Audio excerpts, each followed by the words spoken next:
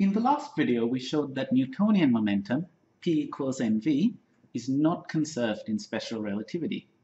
Instead, we need to consider P equals gamma mv. So does this mean Newtonian momentum is wrong? Well, let's see what happens when v is much smaller than c.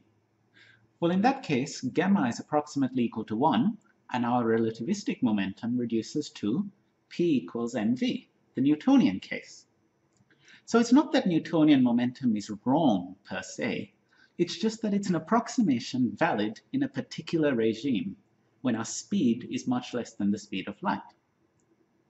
Relativistic momentum is also only valid in particular regimes. It works well in a lot of cases, but if you were to try and apply it to a black hole or to something on the quantum level where special relativity breaks down, then you'd find problems and you'd have to consider a different expression. So what about if your velocity approaches c? Well, in that case, gamma is equal to 1 on 1 minus v squared on c squared and approaches infinity. So in other words, if you're trying to move a massive object at the speed of light, you need to give it infinite momentum, which would require an infinite force. And this is why you can't accelerate anything to the speed of light. So now we know about relativistic momentum, let's derive an expression for relativistic energy. Force is defined as the rate of change of an object's momentum, or writing that in terms of calculus, F equals dp by dt. So if you have an object with some initial momentum, and I apply a force to it for some time t, its momentum at time t will be the initial momentum, p0, plus the force times time. Substituting in our expression for momentum, that's the gamma at time t, times m times the velocity at time t. Or expanding gamma. So now let's solve this for velocity. Now this would be very tedious and difficult to do by hand, so we just shove that all into a computer and it spits out this. So what does this mean?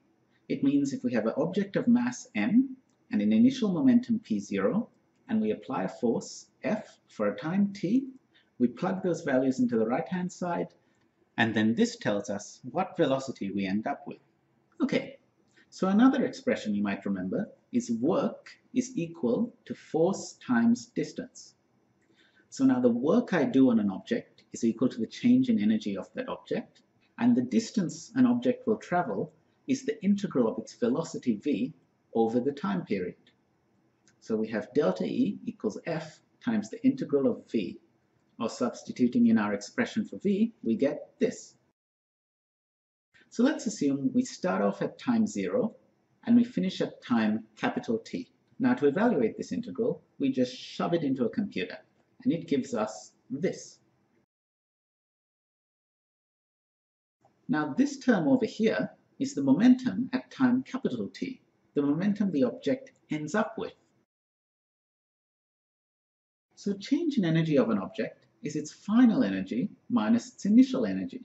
So maybe the first term here represents the final energy of the object, and the second term represents its initial energy. This would give us the formula that the energy at time t is the square root of m squared c to the 4 plus p squared c squared.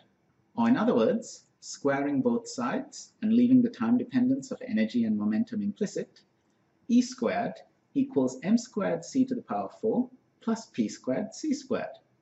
So now we can't just directly believe this, because we derived it using all sorts of things that we know from Newtonian mechanics. Work equals force times distance, and F equals dp by dt, and at the moment we don't know if these hold up in special relativity or not. So what we do is, we take this as a candidate and we go to experiment. We try and see, does this equation seem to be valid? And what thousands and thousands of experiments have shown us is that yes, this is the equation for the energy of an object.